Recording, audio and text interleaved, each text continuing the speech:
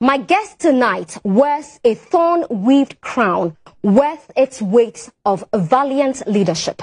At the edge of the country's third decade of stable, uninterrupted democratic leadership, he has taken to a road less traveled. Born on a rainy Sunday morning up the popular mountains of Kwahu Tafo in the eastern region, but hails from Kwahu Nkwatia at a time Ghana was looking forward to ditch military rule and usher in the Third Republic.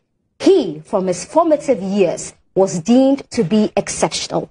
Top of his class from primary all the way through the corridors of Accra Academy for both his O and A level examinations, then distinction, acing first class honors, clinching the Bentsi-Enchill Award for Best Graduating Law Students for the LLB, and then EN Memorial Award for Best Student in Family Law.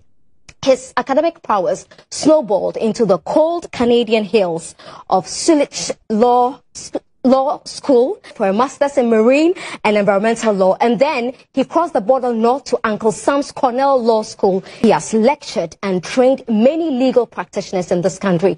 In reading up his resume, it was evident that his relatively young life swells with hard work and practical, invaluable experience in law and its relevant avenues for impact.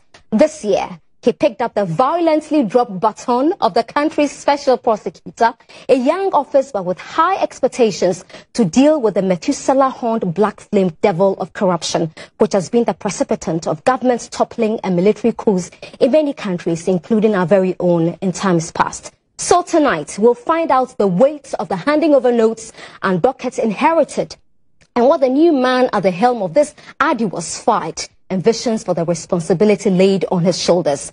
And oh, lest I forget, just how does he intend to prove all the critics wrong and not to become the president's poodle, as his predecessor Martin Amidu chose to describe him?